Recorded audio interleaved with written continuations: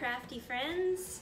Uh, Staci here as always and I'm going to be doing a number of acrylic pour paint videos or acrylic fluid art, some of them are not pours, on two pieces of two canvases that I have. Both my canvases are long like this.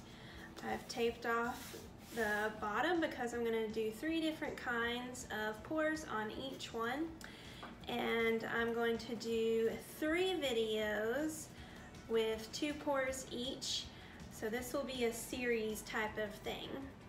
I am doing these to kind of match my living room, which has a very colorful rug in it. And I have picked out colors from the craft store that match the colors in the rug. Now the only color that's not in the rug is like a purple.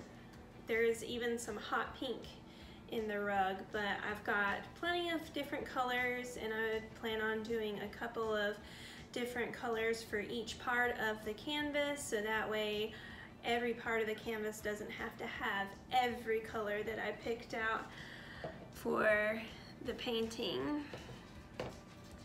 Now I've only done the mixing video um, once and so that will be referenced up in the top corner whenever the mixing ratios come up so you can watch how I mix the paints without having to watch it on every single video. So this is part, whatever it says down there, of the three-part series. And we will see what they look like when they're all said and done.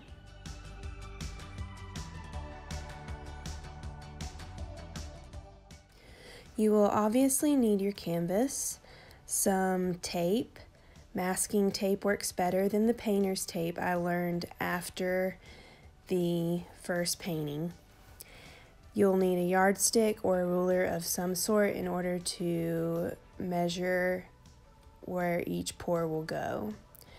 So I cut off the plastic that comes with the canvas and then I tape it off so that the paint from each pour does not go onto the parts of the canvas that I do not want it to go on to. I learned that masking tape works better than painter's tape. And then you put push pins on the back so that the pour and the paint does not stick to the table with the canvas.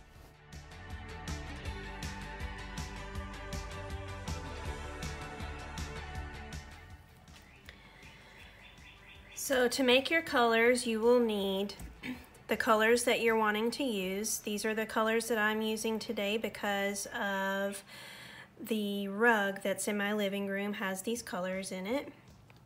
And then you'll need your mixing medium. I've already mixed this from a previous video and I will tag that video up in the top right corner of your screen.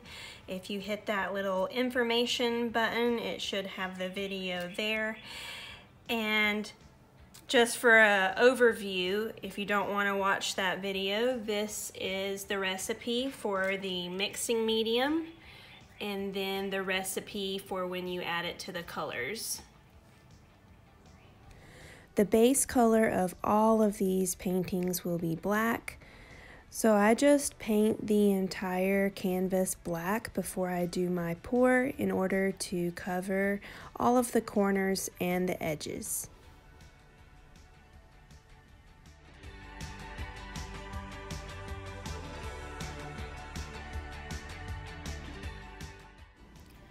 I'm not going to mix a lot of colors for the reverse dip because I want the base color to be black and the main part of the canvas to be black.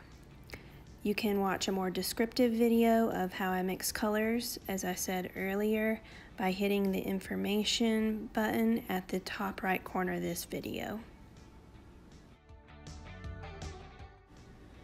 Now I Dutch pour the colors on top of each other and then fill in the outside areas with the base color, which is black, I'll take a Q-tip and pull the paint outwards so that it blends more.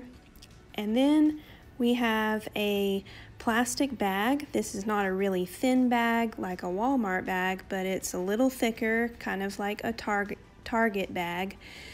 And um, we push the paint outwards and then you grab it from all corners and pull it upwards so that the last part touching the bag is the center of the canvas.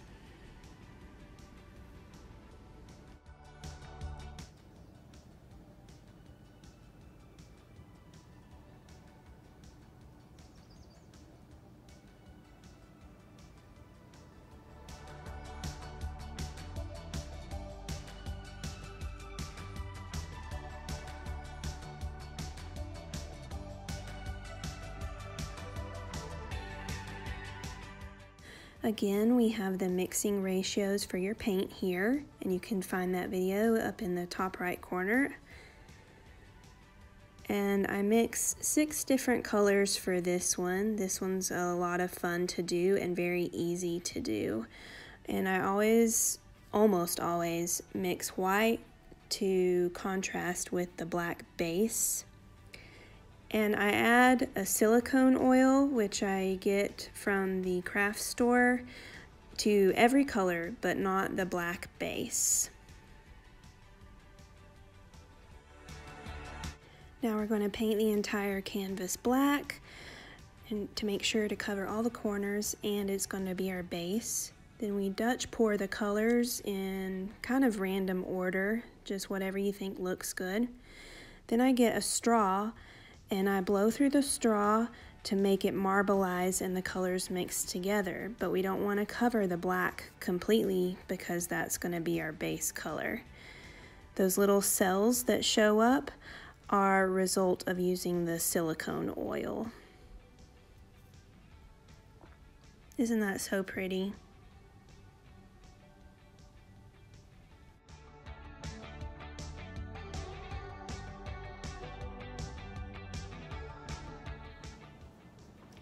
As you can see throughout those videos, I actually used masking tape instead of the painter's tape to block off sections of the canvas so that the paint would not go onto those sections. This worked a lot better than painter's tape. Actually, I found that painter's tape is pretty horrible um, for paint. So masking tape instead of painter's tape. Uh, a few of those you might have seen me use a silicone oil. Um, a couple of drops of the silicone is what gives you those cells that look like, um, well, scientific cells. They look like cells. Um, to give you more of the blending, more of the splotchiness look to it. Some of them I did not use the silicone on. Um, so just note whenever I'm mixing the colors, if I hold up the silicone, then you know that those that that painting has the silicone in it. Thank you so much for watching. Make sure to watch the other two parts of this three-part series, and those will be linked below if they are already been posted to YouTube. Um, otherwise, it will probably be posted within the next couple of weeks.